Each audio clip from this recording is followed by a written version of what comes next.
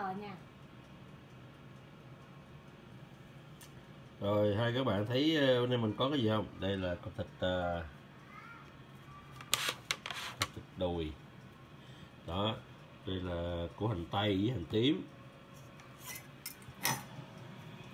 Còn đây là hột vịt.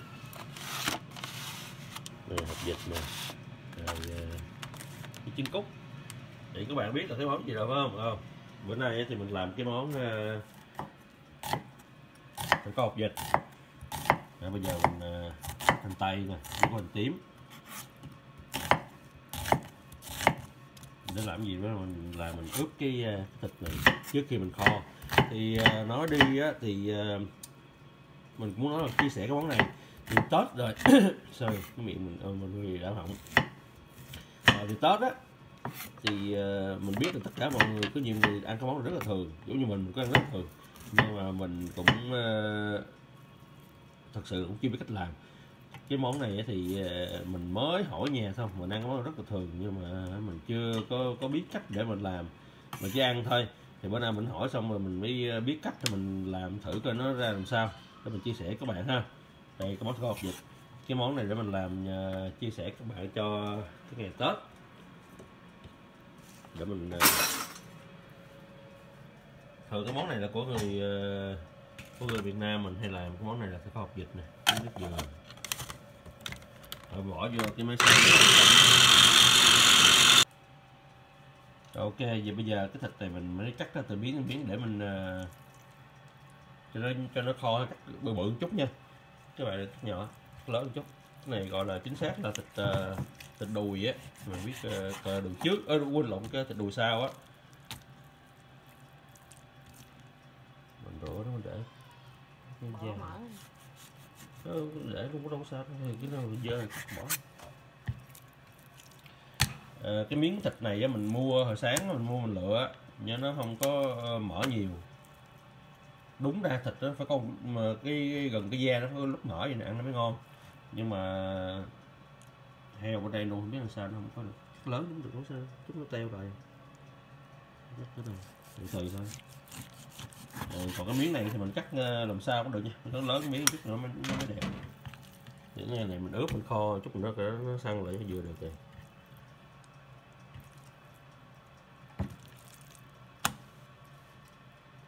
cộng ok ok lớn quá không ta bự dữ rồi. nhỏ thành đôi từ này này rửa hai tiếng đồng hồ trước rồi. Nó bị ờ, trời lạnh quá khô. Bự gì luôn rồi wow. Bữa giờ mình ăn mà đâu thấy bự đâu. Nữa thì ờ, quay cái kiểu chắc là đúng cách hồi xưa luôn ăn cục non như này luôn. Rồi nói nha nha, các bạn đừng có quan trọng cái chuyện là cắt lớn cắt nhỏ nha. Còn cái này mình chỉ quan trọng cái cách là làm như thế nào thôi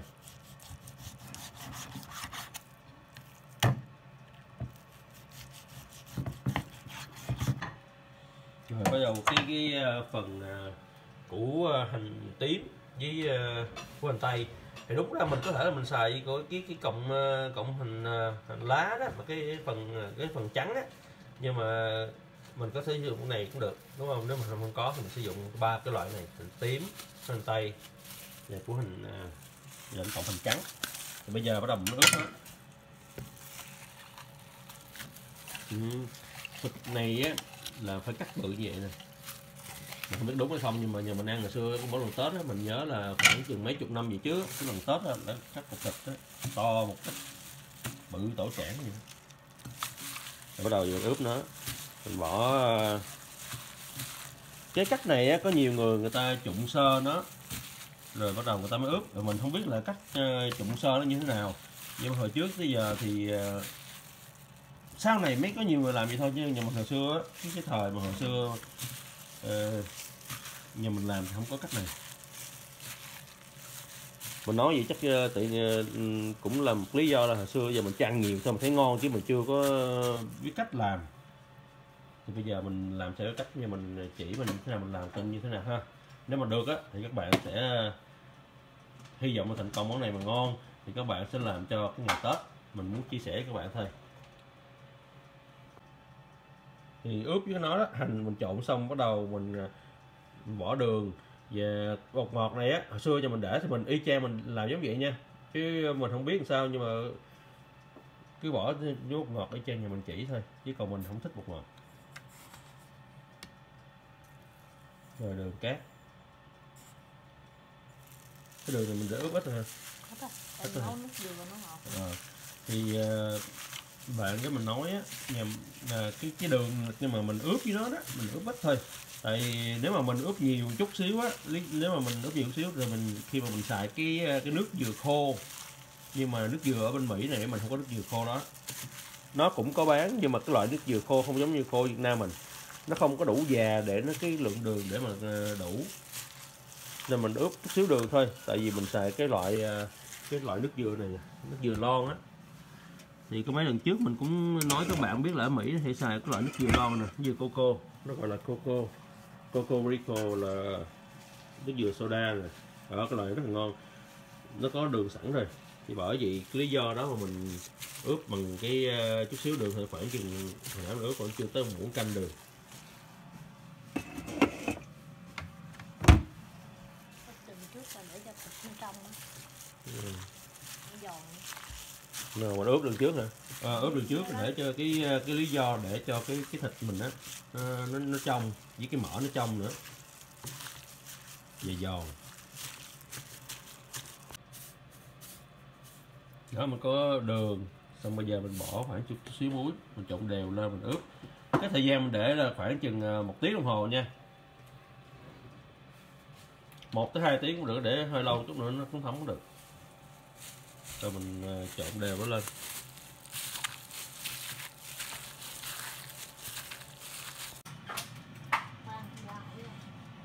Rồi trong thời gian bây giờ mình ờ, mình chờ cái thịt nó, nó mình ướp đó nha. Rồi bắt đầu mình mới ờ, luộc trứng. Mình bắt nồi nước lên cho nóng luôn luộc trứng này. Ở đây thì mình có mấy cái mình có mấy cái trứng. Ừ, cái trứng Mỹ nó rẻ không?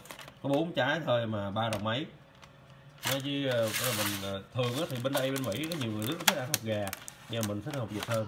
Thì lý do tại sao cái hột vịt á cái trồng trắng nó, nó, nó ăn lúc mình kho á nó giòn nó nhiều hơn nó ngon hơn. Còn trồng đỏ thật sự mình không ăn mà mình thích trồng đỏ. Rồi nếu mà ai mà muốn thích ăn thêm ở nhà con nít á ăn mà ăn trứng bự không được á thì mình luộc trứng cút vậy thôi. Bỏ chung với nó. Rồi bắt đầu mình bỏ trứng vô. Trứng cút trứng thôi với uh, hột vịt bỏ chung luôn rồi bỏ riêng? Tại chứ hột vịt nó, nó nó bự mà. Bỏ chung hả? Bỏ kho thôi, luộc chín thì nó săn rồi thôi. nó mới khô trong đỏ hả? Thì mình nói thật sự là mình trồng đỏ mình không thích ăn. Thì ờ, mình không biết là các bạn như thế nào còn mình chứ trồng đỏ mình không thích ăn nên mình không có quan trọng cái vấn đề là luộc lâu. Thì thường trứng á, mà mình luộc lâu á cái trồng đỏ nó hay bị khô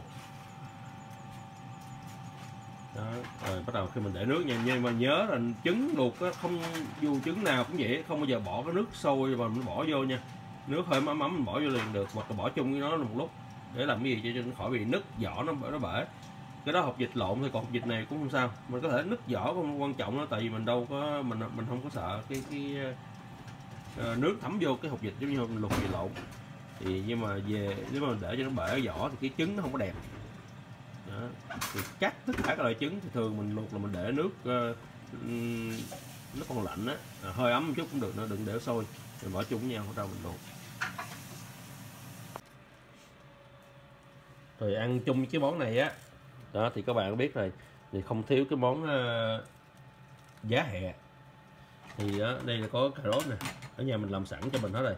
Thì giống như cà rốt thì mình, uh, mình bỏ uh, gột lột vỏ bỏ rồi bỏ ruột cắt cái phần lõi cứng á, mình bỏ đi.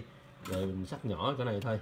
Rồi hẹ thì cũng cắt miếng, cũng ngang ngang cỡ chừng à, như sợi giống vậy nè, nhỏ hơn. Đó, cắt có cỡ như vậy. Mình muối chua nữa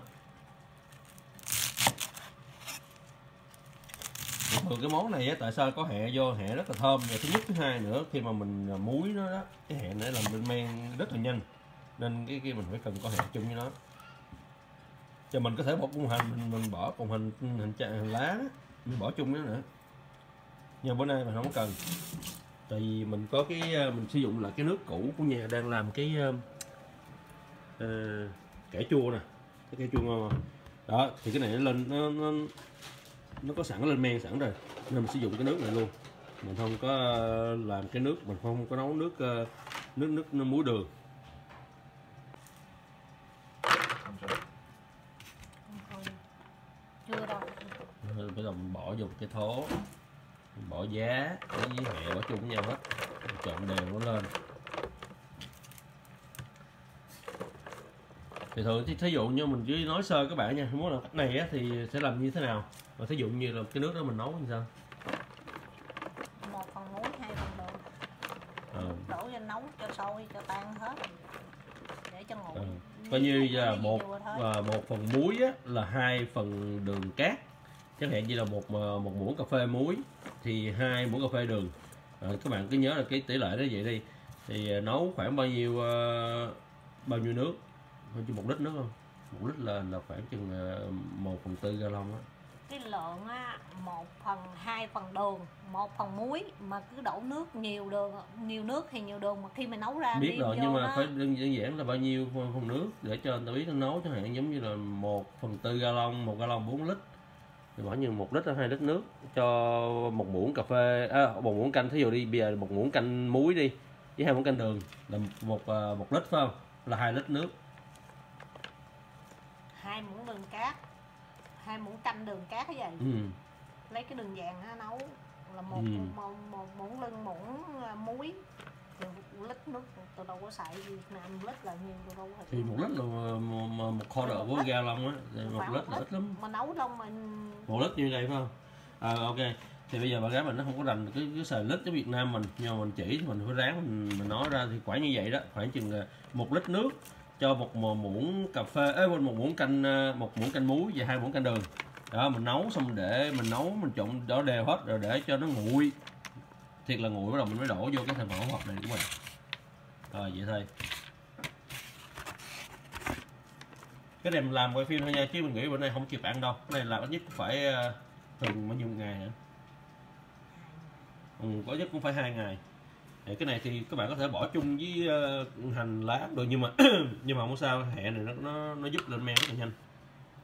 Rồi bắt đầu mình, đây mình có sẵn cái này nên mình không có cần thiết.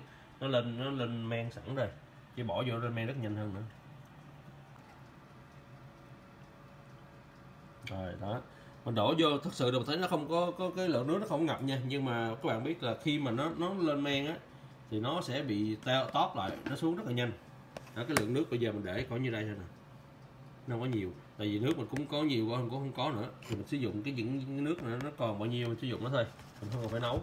Đó, nhưng mà các bạn, khi các bạn nấu thì cái lượng nước nó có thể là một lít nước có thể lên tới đây ờ, lên 3 phần tư cái cái cái lượng mà giá với hệ nhưng mà không sao mình đẩy lại đi rồi ờ, phải cho một hai ngày sau à. khi nó lên men nó sẽ bị teo lại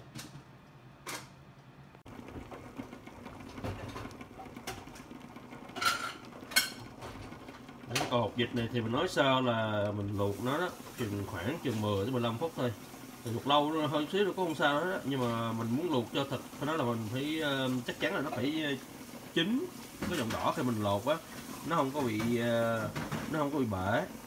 Nếu mà trồng đỏ nó nó chưa chín mà nó còn hơi hơi giữa hơi chín chín á khi mà mình lột nó có thể là nó bị tét bể cái ờ, bể ra nó không có đẹp. Nên cái này mình hơi luộc ờ, mình luộc hơi chín chút xíu nha. Rồi đó nãy mình để khoảng chừng nãy giờ là 10 tới 15 phút rồi đó. Cái này không cần thiết nha mình, mình không có cần phải định lượng bao nhiêu lâu đâu mà mình chỉ muốn chắc chắn là mình nó, nó luộc nó chín cho cái cái cái trồng trắng nó cứng không bị bể thôi. Rồi giờ mình bắt ra. Mình bắt ra thì trong thời gian này á mình ờ, phải để cho nước lạnh. Mình đổ hết cái nước nóng đi bắt đầu lại nước lạnh vô. Tại vì trời đây lạnh nên ờ, mình không có có quay được cái mình không có nấu được Ờ, đúng ra dùng khí hậu nóng giống Việt Nam mình á thì các bạn phải để nước cho thiệt lạnh.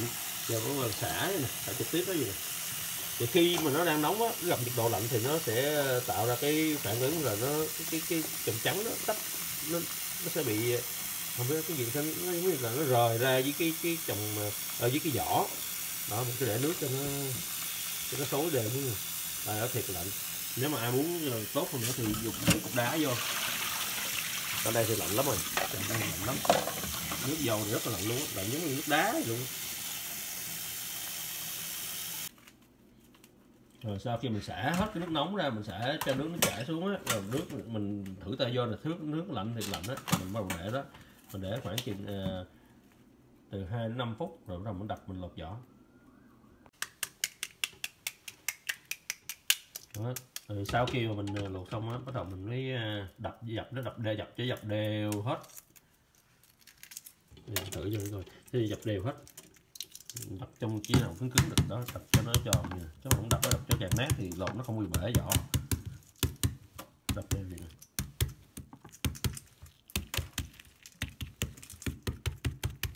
nhất hai cái phần này dễ bị bể nhất. Khi mà phần dày á mình đập không có được cái khi mình lột á mình cấn lại nó sẽ bị ờ, bể trứng mất đẹp. Đó, mình đập khi nào mình không nghe không còn nghe cái tiếng nữa là khi là vỏ nó nó bị ờ, nó bị nát rồi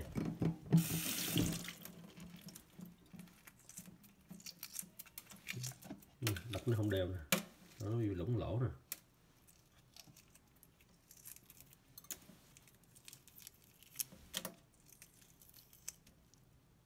Cái này thì bị sát vậy thôi. Đó, nếu mà bị rách nó, cái chồng đỏ nó sát quá thì nó mất đẹp.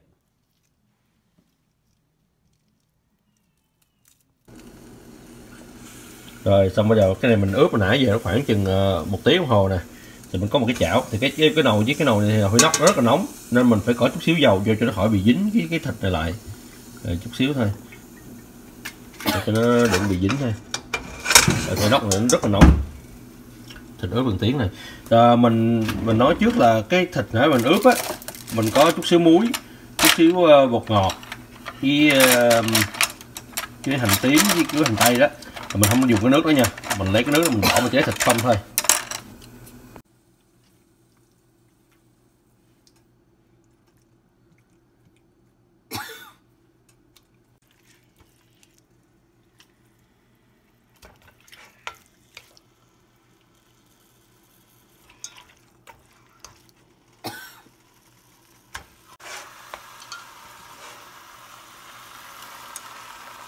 Ừ. là bắt đầu mình bỏ vô nha. Ở nhà mình ai cũng bị đau cũng họng đó mùa này dễ người bệnh quá. Nói chuyện không có được rõ lắm. Đó, thì bây giờ mình bỏ nó vô. Rồi mình mình mình kho cho nó sắc lại. Thì lúc này mình mới bỏ nước mắm vô nha, mà mình không bỏ nhiều. Thì các bạn biết tại sao mình không bỏ nhiều nước mắm không? Tại vì mình ờ, mình bỏ nước mắm nhiều á đồ mặn nó quá mặn thì thịt nó sẽ bị khô. Nếu các bạn không có tin đâu, nhưng mà các bạn sẽ coi chút nữa mình kho ra thịt ra thấy mình bỏ xíu nước mắm cho nó vừa đủ cái, có cái cái vị mặn nó thấm vô trong cái cái thịt này thôi. Cái vị thơm của nước mắm đặc trưng cái cái ờ, thịt kho tàu này thôi.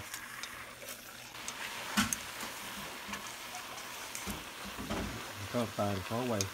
Ok, thì đó, mình cứ kho, mình mình cứ làm cho nó, mình đảo đều nha cho nó săn cái thịt lại nha.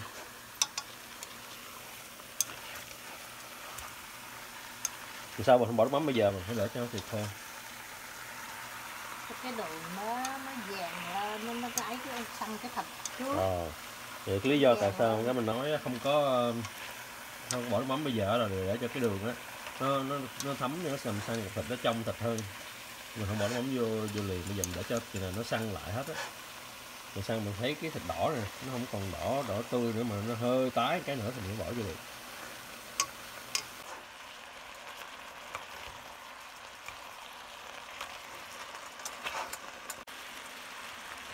nước mắm rồi sau khi mình nhớ nha mình xào thấy xăng đều hết rồi mình không cần cái độ tái người, người sống nữa tái cái này nè. Đó mình đổ mắm vô. Cái này mình chỉ dằn một miếng cho nó thấm vô trong cái cái thịt thôi chứ không có nhiều. Một chút nữa mình phải nêm sao nữa.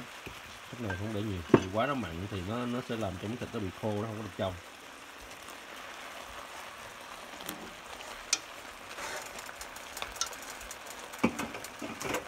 Rồi đồng thời lúc này á thì mình nói sơ là mình xài cái nước dừa này nha. Cái dừa này mà mình xài sơ dừa mỹ này rất là ngon. Dưa nước dừa mình ờ, mình không xài dừa trái. Tại vì trái bên đây nó, dừa non nó không có đủ độ đường để làm cho miếng thịt này nó nó có lên cái độ ờ, cái độ nâu ờ, nâu đẹp.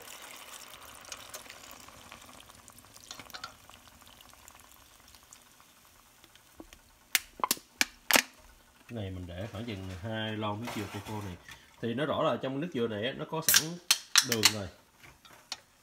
Thì cái bột này thì khỏi lo chút nước mà nó sôi lên tự nó sẽ tan cái bột này đi thôi. Đó, mình xài à, mình đổ nước lạnh vô lại nha. Là cứ hai lon nước nước dừa này thì hai lon nước lạnh. Rồi mình đổ nước vô cái lon này cho nó dễ đông.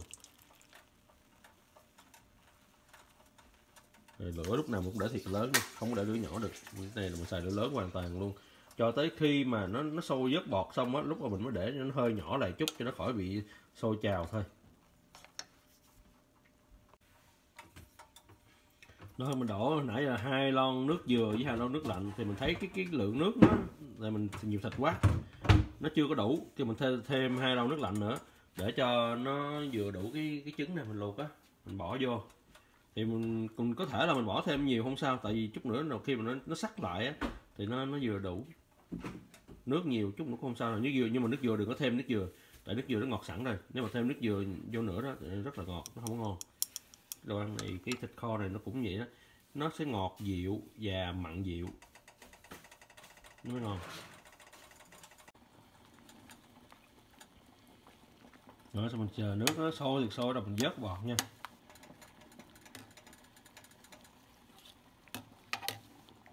Này phải vớt liên tục bọt nó cho nó đừng có bị nước đừng có dơ. Thì mình xài cái nước dừa coco này nó ra bọt rất là nhiều.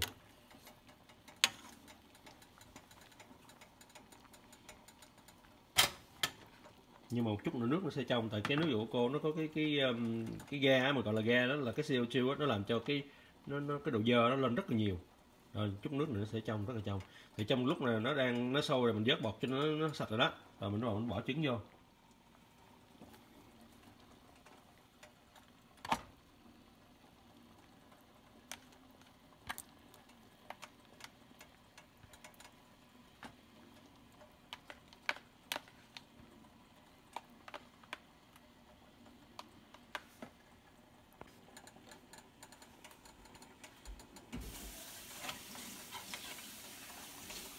Ừ, cái nước vào nó chuẩn bị từ trong lại này. nhìn nó xấu lắm nhưng một chút nữa các bạn sẽ thấy nó nó chuyển màu thì rất là đẹp. Thì mình cứ để gì nha, để cho nào mà nó sôi thiệt lớn lại bắt đầu mình mới vỏ lửa nhỏ lại, bây giờ để để cho lửa thiệt lớn nè, để cho nó sôi lại rồi mình mới à, mở lửa riêu mình kho nó. Rồi bây giờ mình thấy nó nó nó sôi rồi cái này là phải không? Ra bắt đầu mình nó mở lửa nhỏ lại, tại vì để chút nữa nó sôi quá nó bị bung trào ra lửa nhỏ không phải là nhỏ lắm đâu nha mình nhớ vừa vừa thôi, để cho nó nó phải giữ cái độ sôi lớn, để cho cái cái nước đó nó rút vô lại. Thì bây giờ cái này là chưa, nó chưa có đủ ờ, độ mặn gì đâu, mà mình trước khi mà một tiếng đồng hồ, khoảng chừng nửa tiếng hồ sau á, thì nó sắc lại mình bỏ nước mắm vô. Lúc đó nước mắm sẽ thấm vô miếng thịt, nó sẽ làm rất là ngon. Mình không bỏ nước mắm vào bây giờ, để mắm bây giờ nó hôi mà nó làm cho thịt nó bị khô và nó không có trong nữa. Đó xong, các bạn thấy cái nước đó chưa? Bây giờ nó chuyển nó đỏ nó màu nè ừ, có nhiều người thì cũng hay bỏ màu vô nha nhưng mình nói thiệt cái món thịt kho hột vịt này á đúng của nó thì không bao giờ có nước màu. Nếu mà mình kho không lên đẹp được màu á thì các bạn có thể chút xíu nước màu cũng được. Nhưng mà chỉ nói là uh, cái món này không có nước màu.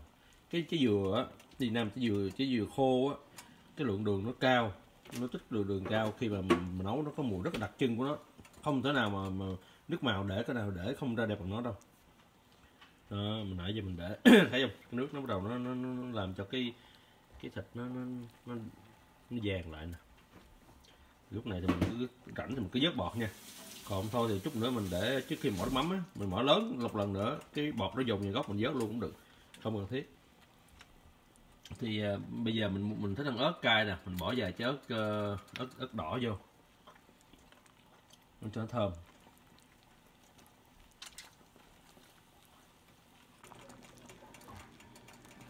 Rồi các bạn thấy sắc xuống chưa? Cái màu đó nè đẹp không? Đó, mình cũng để ra ngoài chưa có xong được. Cho nào mình thấy cái mỡ này nè.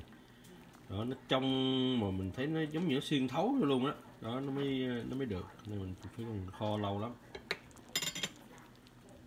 Nhìn hấp dẫn liền. Rồi bây giờ các bạn thấy chưa? Đó bây giờ thịt nó thấm vô nè. Cái nước nó nhìn cái nước nó nước nó vàng tự nhiên nè. Thì bây giờ là chưa có chưa có được mình nấu thêm khoảng 15 phút nữa. Nhưng mà bây giờ đó là mình phải uh, bắt đầu mình thêm nước mắm vô.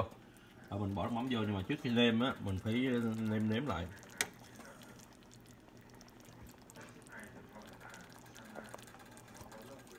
Ừ. cái này á, thì ờ, nó có vị ngọt nhiều hơn. Thì bây giờ mình nêm cho nó khoảng chừng hai muỗng này đi. Ơ, một muỗng rưỡi chứ nó đầy là muỗng rưỡi á. Đó thì cái này các bạn lúc này các bạn sẽ nêm nếm theo cái cái khẩu vị của mình nha. Mà khi mà nếm này á mình phải chịu theo lúc mà nó sắc lại nó mặn hơn nữa. Nên mình đừng bao giờ mình mình mình nêm cho nó nó vừa ăn lúc này. Rồi, Cho nó hơi màu Ừ. đó bắt đầu khi bây giờ nước mắm vô nè. Đó cái màu nó bắt đầu nó mới làm cho miếng thịt đỏ ra. Bạn thấy chưa?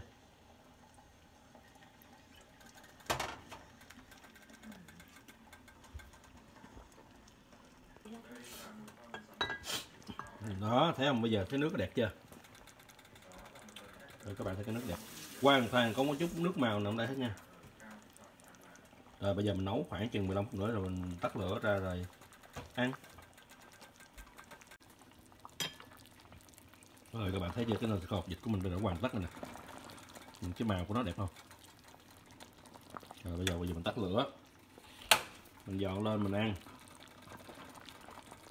đó các bạn thấy chưa? Như vậy là xong một món thịt ờ, kho hộp vịt phải không? Cho ngày tết của mình rồi. Ừ. rồi bắt đầu tắt lửa mình dọn lên. Ừ, đó bây giờ xong các bạn thấy chưa? Cục thịt nè. Thịt kho hộp vịt đó vậy mới gọi đúng là kho hộp vịt nè. Không có đen của nước nào nè. À, không thiếu được cái món dưa giá những trái hộp vịt nữa. lâu quá hộp vịt á. Đây hộp gà không à? Mình thường mê hộp vịt lắm. Hộp vịt nó nó có cái um, cái trồng trắng nó nó ăn nó giòn hơn là ờ, uh, hộp gà.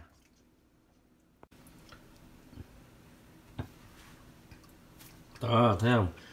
Thì bây giờ các bạn đó mình có một cái món mình chia sẻ thôi. Thì các bạn cứ làm theo cái uh, cách của mình đi. Đó thấy cái màu nó đẹp như thế nào cái thịt này, đó nó đỏ lên nè.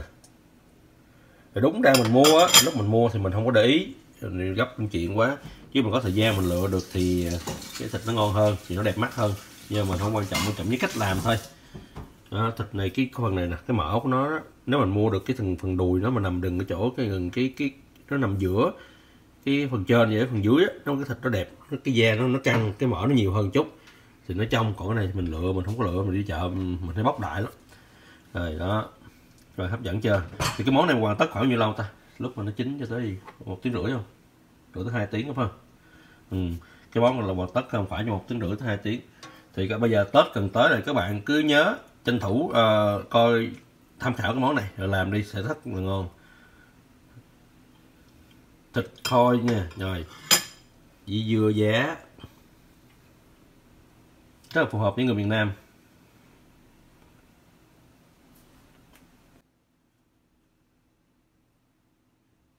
Rồi ờ, cảm ơn các bạn đã theo dõi ha. Ờ, thử đi rồi, ờ, rồi cho mình biết ý kiến nó như thế nào. Rồi ờ, cảm ơn các bạn đã theo dõi. Nhớ đăng ký kênh để cái video tiếp theo mình làm cái cái món gì cho cái ngày Tết. Ờ, để mình chia sẻ với các bạn. Ờ, cảm ơn các bạn đã đã theo dõi. Ok thank you bye bye.